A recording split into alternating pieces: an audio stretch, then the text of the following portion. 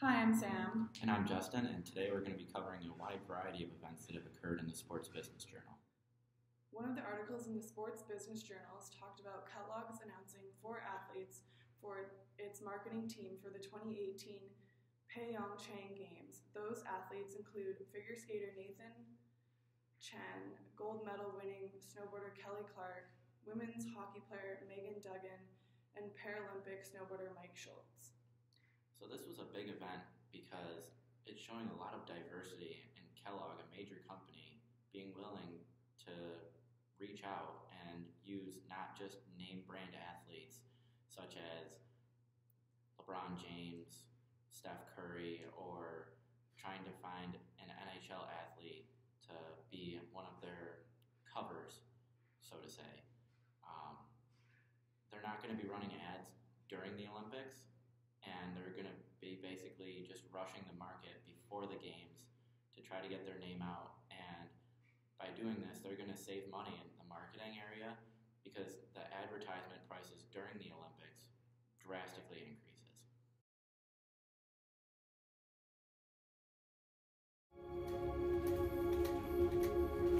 At the start of my performance, I have to block everything out. I have to focus on my one goal of making the Olympic team. And there's a lot of small goals that I have to attain before I'm able to reach that big goal. But as I've grown older, I've come to understand that these are things that push me to where my dreams are and to accomplish those dreams, standing on top of that podium at the Olympics. The biggest thing I do when I get on the ice, deep breath and think about my team. It's a really special group. And so when I wake up in the morning, I think about that group. We all have our minds set on this ultimate goal that we want to achieve. Having the opportunity to work together with 22 other women that are as strong and passionate as I am, it's incredibly unique and wouldn't have it any other way. I look at the opportunities that I have, and not only do I get to go after my dreams, but I get to inspire others. And I want to make sure that I've got something more than just medals to show for it. I want a culture and a sport and a people group that is better because I was a part of it. That's really what gets me started. My family is totally part of my racing program. It's kind of neat. It's been a tradition while I'm competing. You know, she'll always do the going for gold nail polish. Yeah, that's really good. How come you like this color? Life is it's about perspective. I choose to look at things as a challenge and not a problem.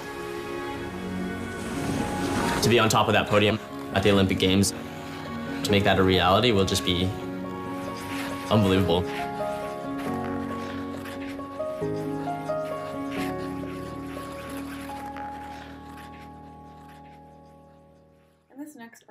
Talks about the USA Gymnastics is in need of a complete culture change to protect young gymnasts from sexual abuse.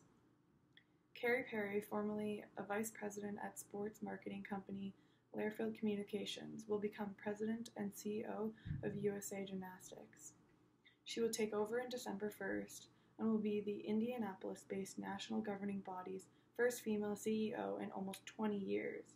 The position has been vacant since March, when former President Steve Penny resigned in the aftermath of an Indy Star investigation into how USA Gymnastics handled allegations of sexual abuse.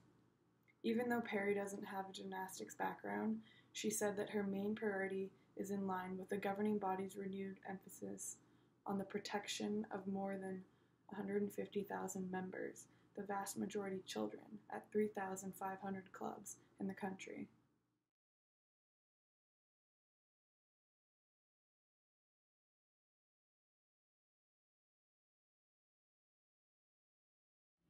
So, in other news in the Sports Business Journal, the Football Club Kansas City and the Major League Women's Soccer is currently being sold. The team that is purchasing them is the owners of Real Salt Lake in the MLS.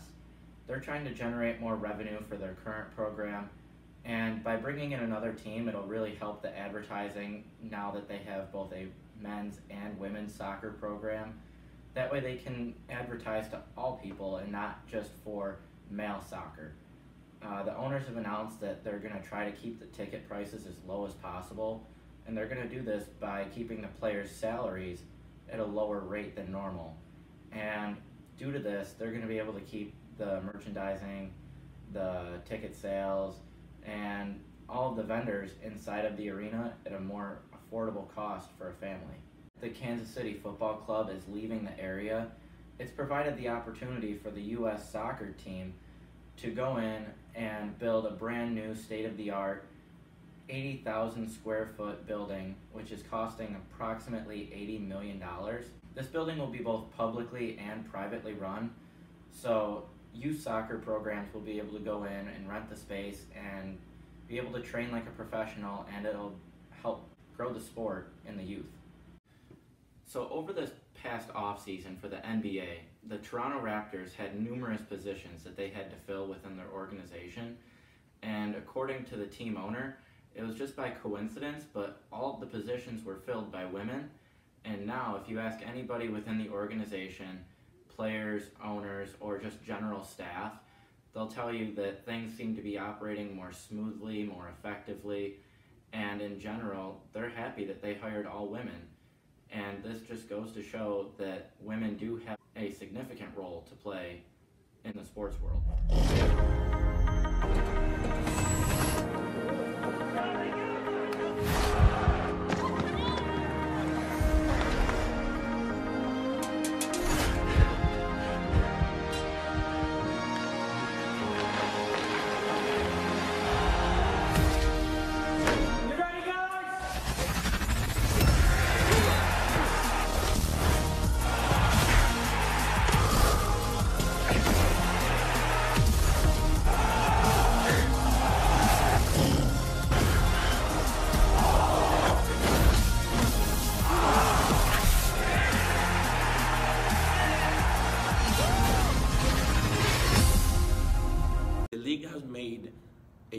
Commitment with the Stonewall, but more than the organization, they have made a commitment with the entire LGBT community in the entire world.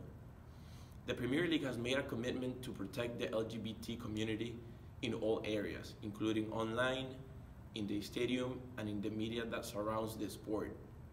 This partnership will definitely create ripples in the, in the UK, especially with the fans and other similar organizations.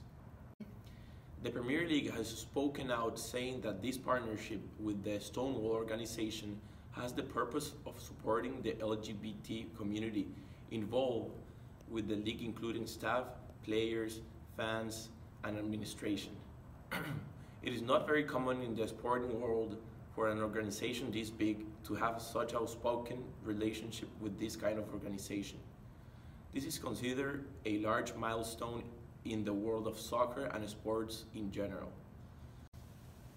The Premier League has just signed a three-year partnership with the Stonewall charity that supports the LGBT community in the world. The Premier League is the most prominent soccer league in the United Kingdom and a, and a partnership like this one sets precedents for other soccer leagues and sports organizations in the world.